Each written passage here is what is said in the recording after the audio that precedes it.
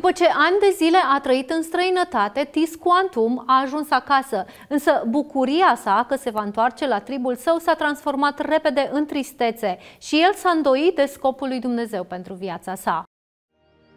După ce a pășit pe tărâmul cunoscut, Tisquantum a fugit spre satul său, fiind entuziasmată de gândul că se va întâlni cu cei dragi.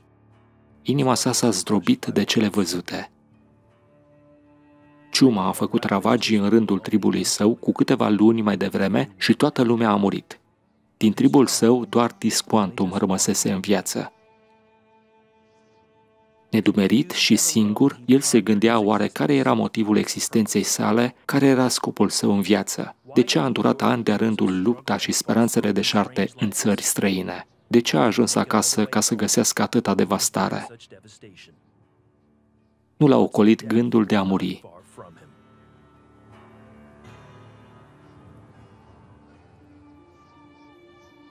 El a fost acceptat în tribul vecin, Wampanoag, însă în adâncul sufletului său știa că locul său nu e acolo. Tisquantum a aflat că un grup de coloniști europeni s-a stabilit temporar chiar în locul unde se afla cândva satul său. Ei erau coloniști englezi. El a vorbit limba lor și a cunoscut obiceiurile lor. El a văzut lupta lor pentru supraviețuire, cum s-au rugat lui Isus pentru ajutor, pentru speranță. I s-a făcut milă de ei și a vrut să îi ajute.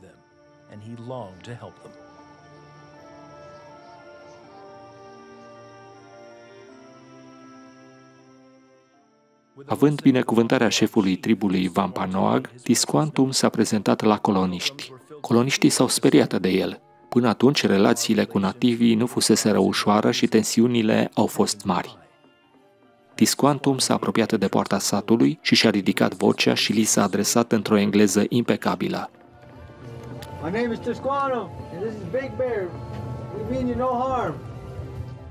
Coloniștii au fost uimiți când l-au auzit. L-au chemat în sat și el s-a stabilit acolo.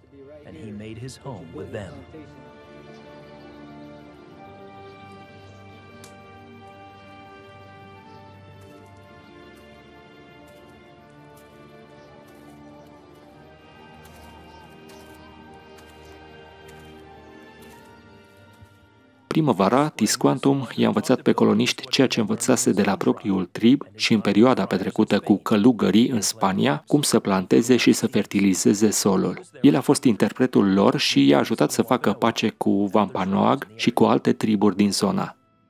În scurt timp, el s-a simțit mai mult decât acasă cu coloniștii. El a trăit cu ei și din multe puncte de vedere el a devenit unul dintre ei. În toamna anului 1621, recolta a fost abundentă și coloniștii au prosperat. Dumnezeu le-a răspuns rugăciunilor arzătoare prin Tisquantum și, între timp, i-a vindecat inima lui frântă. În același an, în noiembrie, coloniștii au organizat o sărbătoare mulțumindu-i lui Dumnezeu pentru că le-a purtat de grijă. William Bradford, liderul pelerinilor, i-a cerut lui Tisquantum să invite tribul Wampanoag la celebrarea recunoștinței. Ei au venit și s-au alăturat petrecerii care a durat trei zile. Pacea și bucuria a domnit în regiune.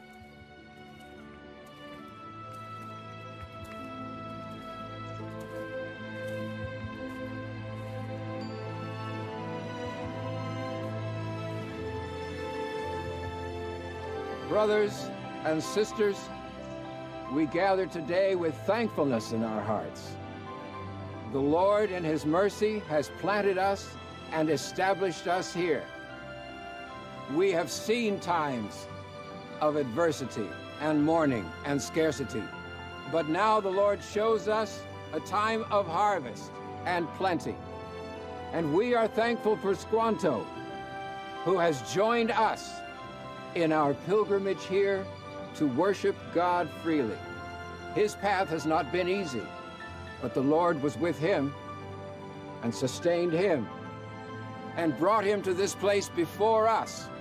And he has been an answer to our prayers here, that the Lord would provide for us, provide a way by his mighty hand.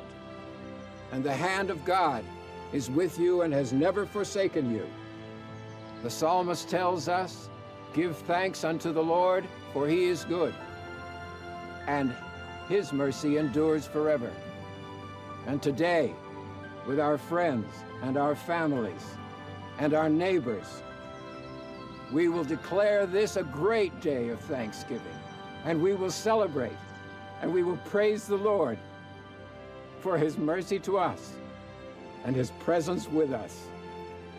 Amen. Fără ajutorul lui Tisquantum, pelerinii nu ar fi supraviețuit acelor zile timpurii grele. Tisquantum și-a pus încrederea în Dumnezeul Bibliei și a trăit cu coloniștii până la moartea sa. El a devenit cunoscut ca Squanto și legenda sa dăinuie și în zilele noastre în povestirea despre prima zi a recunoștinței, amerindianul de care s-a folosit Dumnezeu ca să răspundă la o rugăciune disperată venită din partea unor oameni disperați. Alpha